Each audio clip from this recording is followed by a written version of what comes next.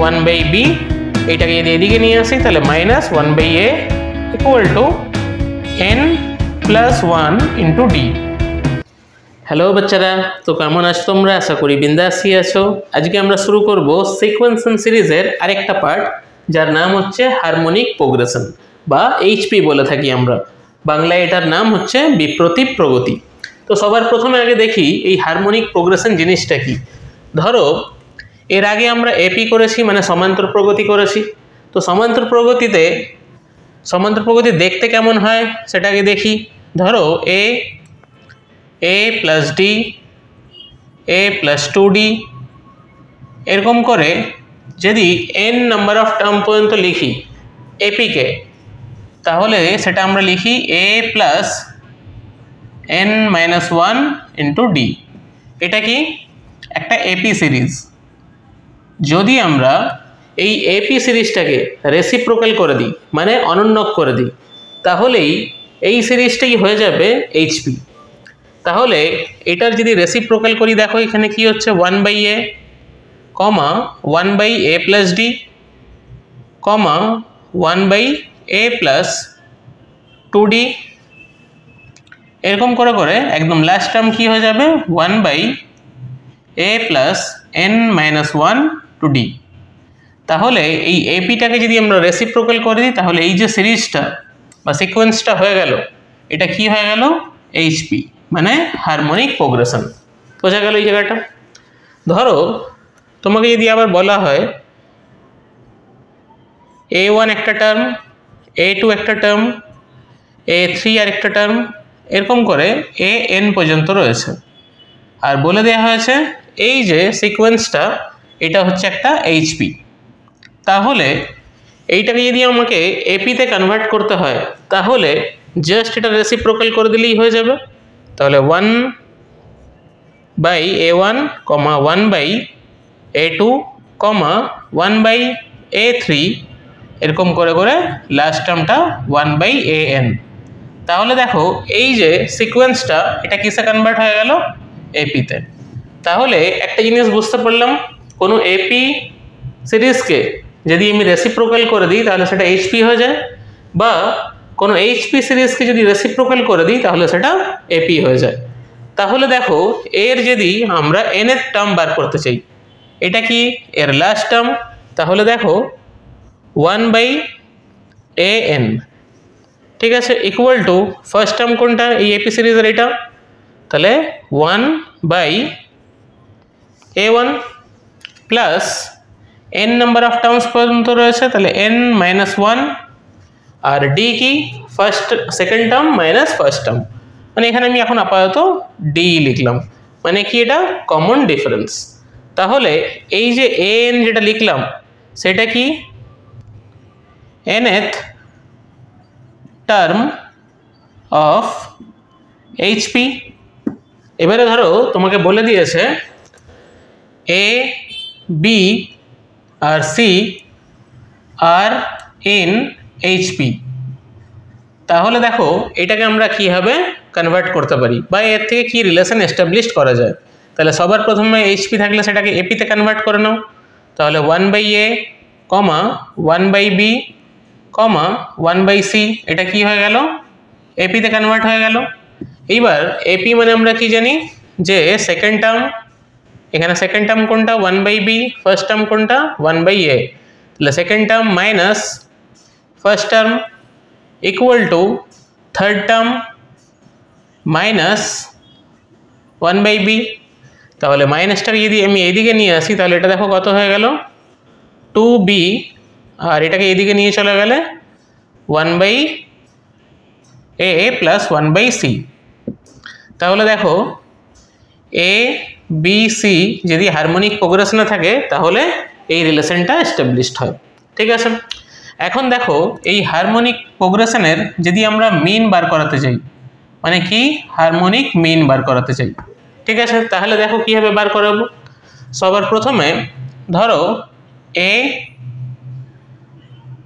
H R B এই এইচটা কি? Harmonic মিন তাহলে হারমোনিক মিনের ফর্মুলা কী হবে তাহলে দেখো এখানে। তাহলে অ্যাজ ইট ইজ এটাকে কনভার্ট করে নাও। প্রথমে এটা এইচপিতে রয়েছে, তাহলে এটা রেসিপ্রোকাল করে দাও। তাহলে one by H by one by B তাহলে এটা কি হয়ে গেল? এপিতে হয়ে গেল। তাহলে এখানে আমি লিখতে পারি one by H minus one by A equal to one by B minus one by H তাহলে এটাকে এদিকে নিয়ে এসো। তাহলে কি হয়ে যাচ্ছে দেখো two by H equal to one by A plus one by B তাহলে এটা যদি ক্যালকুলেট করি তাহলে এটা দেখো এ বি আর এখানে এ প্লাস বি হচ্ছে।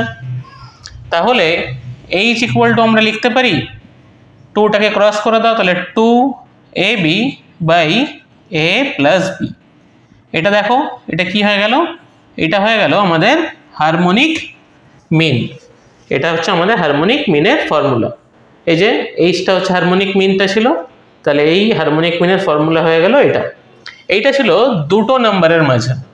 এইবারে ধরো তোমাকে যদি বলে, এই দুটো নাম্বারের মাঝে N number of harmonic mean রয়েছে, তাহলে সেই টাইপের অঙ্কগুলো কীভাবে সলভ করব? ঠিক আছে? এবারে দেখব আমরা, ধরো দুটো নাম্বার রয়েছে এ আর বি এবারে বলা হয়েছে, এই দুটো নাম্বারের মাঝে N number of harmonic mean রয়েছে। তাহলে এরকম টাইপের অঙ্ক যদি থাকে, তার অ্যানালাইসিস কীভাবে করতে হয় সেটা দেখব এবার আমরা। এখানে দেখো N number of harmonic mean রয়েছে। এখানে এইচ মানে হারমোনিক মিন এর আগে যেটা করেছিলাম সেটা কি? দুটো নাম্বারের মাঝে হারমোনিক মিন তখন আমাদের ফর্মুলা কি হয়েছিল? Two A B by A plus B আর এখানে কিন্তু দুটো নম্বরের মাঝে N number of harmonic mean রয়েছে। আর এখানে একটা হারমোনিক মিন ছিল। তাহলে দেখো কীভাবে করি? তো সবার প্রথমে এটা কি পুরো সিরিজটাই এইচপিতে রয়েছে? তাহলে সবার প্রথম আমাদের কি কাজ? এই এইচপিটাকে এপিতে কনভার্ট করে দেবো। তাহলে এই এইচপি থেকে এপিতে কীভাবে কনভার্ট করব আমরা? এই যে সিরিজটার প্রত্যেকটা টার্মকে আমরা রেসিপ্রোকাল করে দেবো মানে অনন্যক করে দেবো। তাহলে এখানে কি হয়ে গেল? One by A one one by H two comma one by H three comma one by H N comma one by B তাহলে এটা দেখো কি হয়ে গেল? এটা এইচপি থেকে হয়ে গেল এপিতে তাহলে এইখানে আগে তোমাকে ডিসাইড করে নিতে হবে যে টোটাল কতগুলো নাম্বার অফ টার্মস রয়েছে। এইখান থেকে এত দূর পর্যন্ত এন নাম্বার অফ টার্মস রয়েছে। তাই তো? আর এইখানে একটা রয়েছে টার্ম এইখানে একটা টার্ম রয়েছে। তাহলে টোটাল নাম্বার অফ টার্মস কত হয়ে গেল? এন প্লাস টু ঠিক আছে? তাহলে এটা যেহেতু এপি এপির লাস্ট টার্ম হচ্ছে এটা, আর আমরা লাস্ট টার্মের ফর্মুলা জানি L equal to A plus N minus one into D এই ফর্মুলাটা কখন ইউজ হয়? যখন এপিতে এন নাম্বার অফ টার্মস থাকে। ঠিক আছে?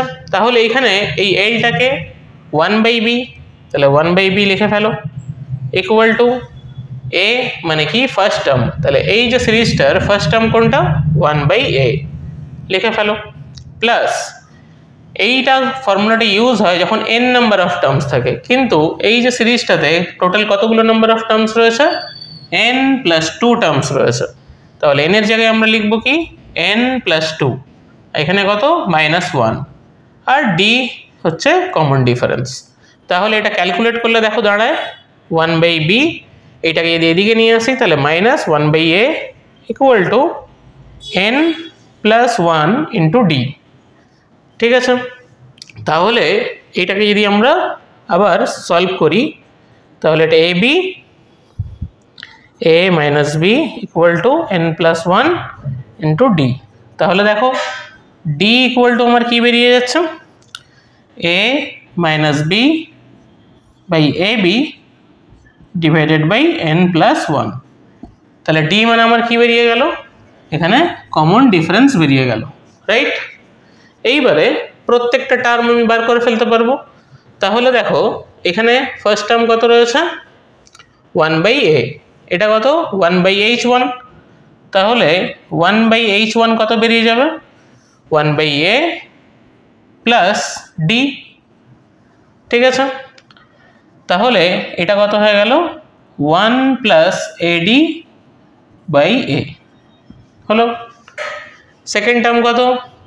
ওয়ান বাই এইচ টু তাহলে এটা কত হয়ে গেল? One by A plus two D তাহলে এটা অ্যাড করলে কত হচ্ছে? One plus two A D by A ঠিক আছে? এইবারে এইটাকেই আমরা যদি সূত্র ধরে চলি, তাহলে দেখো একটা প্যাটার্ন ফলো হচ্ছে এখানে। তাহলে এই জায়গাটা আমরা একটু মুছে ফেলি।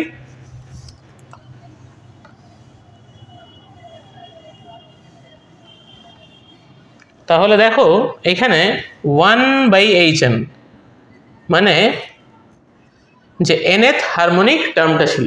সেটা কত হবে তাহলে?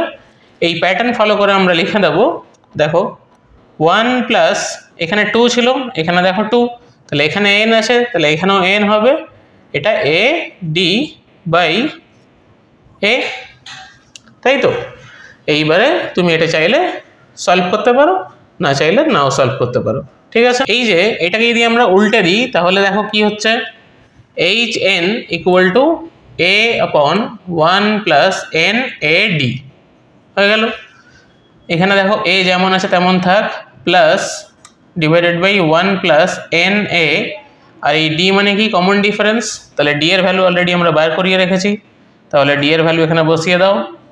A minus A minus B by A B N plus one তাহলে এখানে এ কেটে গেল।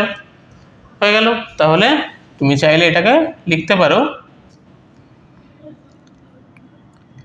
A B N plus one by B N plus one plus N A minus B হলো? বোঝা গেল তাহলে এটা? ক্লিয়ার হয়েছে তাহলে? হারমোনিক মিন কীভাবে বার করতে হয়? এনএথ নাম্বারের ঠিক আছে? এই হলো পুরো হারমোনিক প্রোগ্রেশন বোঝা গেছে আশা করি?